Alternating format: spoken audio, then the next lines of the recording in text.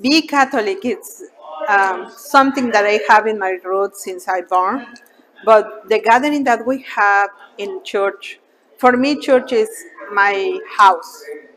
Visit my father every Sunday or every day when I am uh, in mass. It's something that made me to be proud.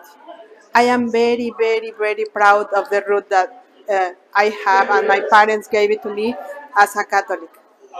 Follow the teaching of Jesus is very important in my life.